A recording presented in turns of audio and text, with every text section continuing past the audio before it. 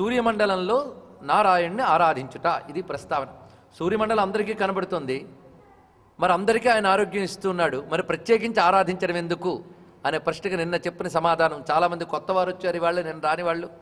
నిన్న ఏం మిస్ అయ్యేమో అనుకుంటూ ఉంటారు కనుక వాళ్ళకి కొన్ని అందించడం జరుగుతుంది. నిన్న విని నిన్ననే మర్చిపోయిన వాళ్ళకి మళ్ళీ గుర్తు చేసినట్టు ఉంటుంది. ఇప్పుడు గుర్తు పెట్టుకోవాల్సిన అంశం కూడా. ఎందుకంటే రేపు పొద్దున పిల్లలు కానీ ఇంకెవరైనా ప్రశ్నిస్తే కనిపిస్తున్నాడు సూర్యుడు మళ్ళీ ఇక్కడ యంత్రం ఎందుకు మంత్రం ఎందుకు తంత్రం ఎందుకు? అని అడిగితే సూర్యుల్లోనే ఎప్పుడూ కూడాను మనకి కాంతినిచ్చేది అదేవిధంగా రకరకాల యంత్రశక్తులు ఉన్నాయి. సోలార్ కుక్కర్స్ సోలార్ లైట్లు ఇలాంటివి ఉన్నాయి. కానీ వాటిని మనం పరికరాల ద్వారానే పొందుతున్నాం. పరికరాల ద్వారా ఇవాళ పొందగలుగుతున్నాం కానీ అది ఎప్పుడు ఉంది అక్కడ? ఇన్నాళ్ళకు విజ్ఞాన శాస్త్రం అభివృద్ధి చెంది పరికరాల ద్వారా పొందగలిగేటువంటి విజ్ఞానం కనిపెట్టారు. అదేవిధంగా మరికొన్ని పరికరాలు తీసుకుని సూర్యమండలంలో ఉన్న దివ్యశక్తిని పొందే పద్ధతిని ఒకటి కనిపెట్టారు. ఆ పరికరాలు మళ్ళీ మూడు నాలుగు రకాలుగా ఉన్నాయి. ఒకటి శిలారూపంగా ఇంకొకటి మంత్ర రూపంగా మరొకటి యంత్ర రూపంగా విగ్రహ రూపంగా సూర్యునికంటూ కొన్ని విగ్రహాలు ఉన్నాయి ఇక్కడ ఒక విగ్రహం మీకు కనబడుతోంది. చాలా చక్కని విగ్రహం.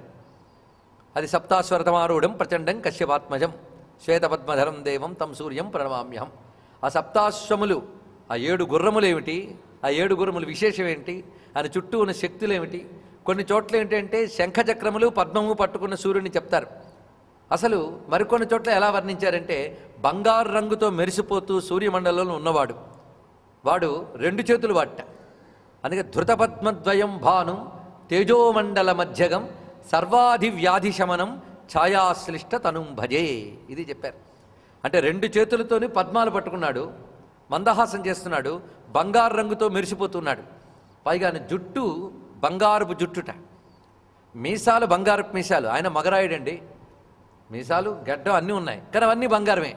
బంగారు మీసాలు బంగారు హిరణ్య శ్మశ్రుహు హిరణ్య కేశాహ. శ్మశ్రుహు అంటే గడ్డం మీసాలు. అవి బంగారు రంగుతో ఉన్నాయట. హిరణ్య కేశాహ అవొకటి. అంతేకాదు ఇక్కడ బంగారం అక్కడ బంగారం చెప్పడం ఏంటి? ఆ ప్రణఖాత్ సర్వయేవ సువర్ణ. ఉపనిషత్తులో చెప్పారు ఈ మాట.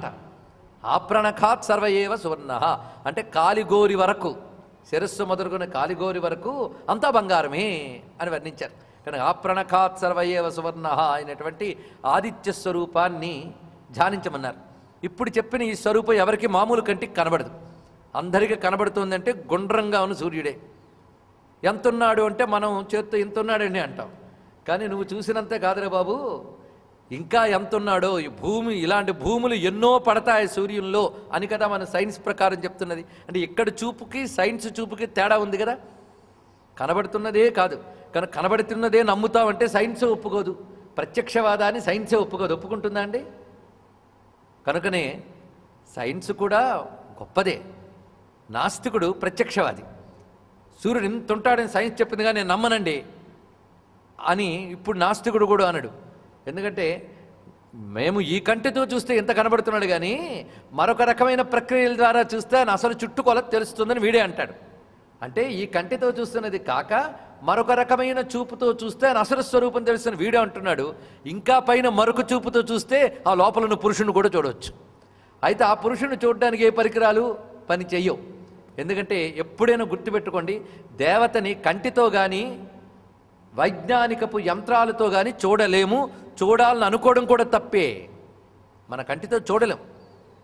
తపస్సు మొదలైనవి చేస్తే భగవంతుడు ప్రత్యేకమైన చూపు ఇస్తే ఆయన ఎలా కనబడదలుచుకున్నాడో అలాగ ఇతడు చూడాలనుకున్న చూపిస్తాడు. ఇది తెలుసుకోవాలి. ఆయన ఎలా ఉన్నాడో అలాగ ఎవరు చూడలేము బృహస్పతి చాలా కాలం తపస్సు చేసేట కాశీక్షేత్రంలో శివుడి కోసం. ఆయనకు చాలా ఉత్సాహం పుట్టి శివుడు ఉన్నవాడు ఉన్నట్టు దిగెట్టండి కైలాసం నుంచి. వెంటనే బృహస్పతికి రెండు కళ్ళు పోయాయి ఏడ్చాడు. దర్శనమియ్యవయ్యా బాబు అంటే ఉన్న దర్శనం కూడా ఓడగొడతావా అని ఏడ్చాట. ఓహో నీవు ఈ కంటితో నన్ను చూడలేవు.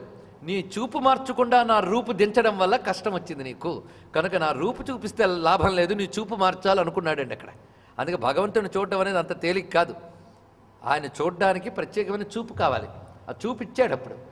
చూపు ఇచ్చి తన స్వరూపాన్ని చూపించాడు. స్వామికి ఏ స్వరూపాన్ని చూడగలని చెప్పండి? శివుడంటే ఎలా ఉంటాడు? ఏ రూపం చూస్తాం మనం? కనుకనే వాడి తపస్సుకు అనుగుణమైన రూపం చూపించాలన్నా చూపు మార్చాలి. శివుల్లో బోల్డు రకాలు ఉన్నాయి ప్రళయకాలంలో రుద్రుడైన రూపం ఉన్నది. పార్వతీదేవితో సౌమ్యంగా ఉన్నవాడున్నాడు. దక్షిణామూర్తి ఉన్నాడు. నటరాజు ఉన్నాడు. ఏ రూపం చూపించాలన్నా ఆ రూపం చూడదగ్గ చూపు ఉపాసకుడికి ఉండాలి.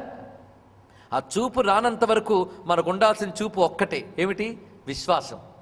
విశ్వాసంతో ధ్యానం చేయడం. ఇదొక్కటి మనం చేతన చేతనైతే దానికి స్వామికి దయ పుట్టి మన తపస్సుకు తగ్గ రూపాన్ని చూడగలిగే చూపించి కనబడతాడు.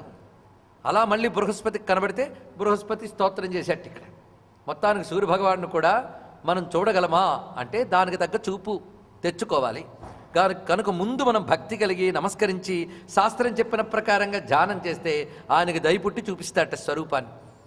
అక్కడున్న స్వరూపాన్ని మనం చూడలేకపోయినా ఋషులు చూశారు వాళ్ళు వర్ణించారు. వాళ్ళు వర్ణించిన దాన్ని మనం ధ్యానం చేద్దాం.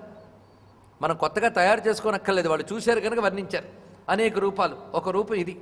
ధృత పద్మద్వయం భాను. రెండు పద్మములు పట్టుకొని ఉన్నాడు. మహాకాంతివంతంగా ప్రకాశిస్తున్నాడు. సూర్యమండల మధ్యంలో ఉన్నాడు. అలాంటి ఆయన మేము నమస్కారం చేస్తున్నాం.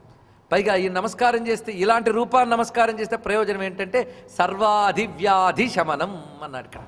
అన్ని ఆదివ్యాధులను పోగొట్టేటువంటి ఛాయాశ్లిష్ట తనం భజే ఛాయాదేవితో ఉన్నటువంటి సూర్యభగవానుడు.